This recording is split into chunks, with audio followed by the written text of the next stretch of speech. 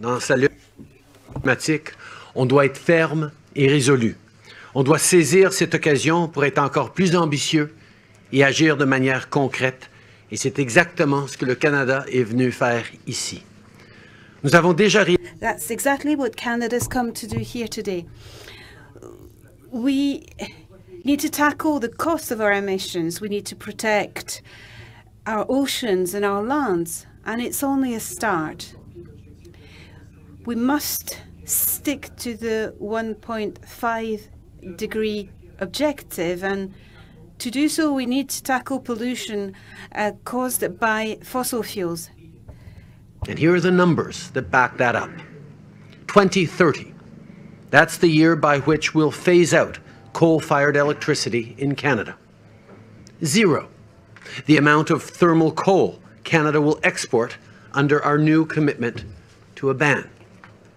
$1 billion, what we'll provide from our climate financing to help developing countries move away from coal, coal as well.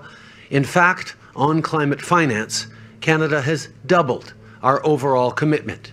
In partnership with Germany and others, we've also created the delivery plan that sets when and how developed countries will fulfill their commitment to the $100 billion goal. And the final number, the 1st of November 2021.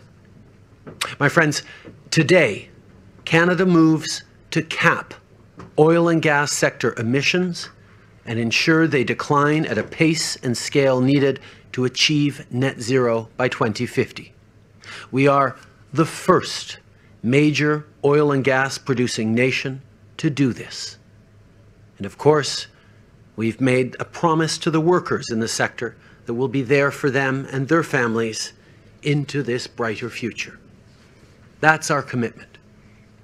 And we urge other major oil and gas producing nations to join us. Because words aren't enough to secure strong economies for citizens and a bright future for our kids. So we're delivering a real plan with real, ambitious climate action for our citizens and for our shared future. Merci, Boris. Great stuff, uh, uh, Justin. I think that that's new news. If, if I get you correct, well, that's that's that's terrific. Uh, can we go now to uh, uh, Frank Bainimarama of, the, of, of Fiji, Prime Minister of Fiji?